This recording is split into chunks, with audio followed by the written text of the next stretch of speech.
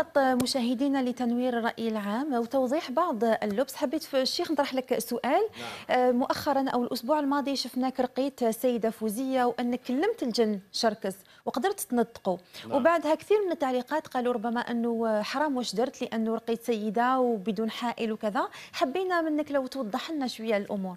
اولا آه، أنا وضعت يدي فوق حائل فوق حائل وليس فوق رأسها. ووضع اليد فوق الحائل يجوز بإجماع العلماء.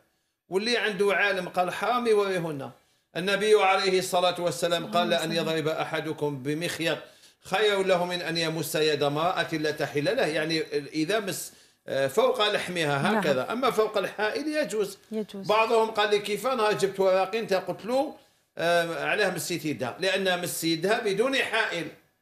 إذا فوق الحائل يجوز وأنا فعلت ما هو جائز والحمد لله رب العالمين. شكرا لك شيخ. يعني رقية صحيحة وفي أنا كنت متمني يدعيوا لهذا المرأة اللي كانت مسكونة بالشفاء. بالشفاء صح. ما يروحوش يتلهوا بتفاصيل يجهلونها. كاع الناس يتفتي يجوز مس المرأة فوق حائل للطبيب أو للراقي. صحيح. فوق حائل أعود فأقول فوق حائل. صحيح. أستاذ حلقة الجن كان لها صدى كبير وتأثير وتفاعل كبير. طبعا ليست المرة الأولى. المرة الأولى ولكن أيضا شيخ بالمناسبة أنت شفت في هذه القضية فقط ولكن أنا شفت في في كل حادثة كل الناس تفتي.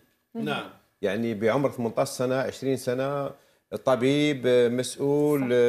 بدون عمل يبيع الفواكه كل الناس وكأننا نعيش في زمن آه، آه، مانيش عارف الميزة تاعو أن الكل يتكلم الكل يفتي الكل يفهم في كل شيء الكل وإذا تعلق بالطب الناس كاع أطباء ولما طاحت الطائرة العسكرية الشعب كاع ولاو علماء بما يتعلق بالطائرة نعم. العسكرية. ولما تكون فتوى كاع يفتيو.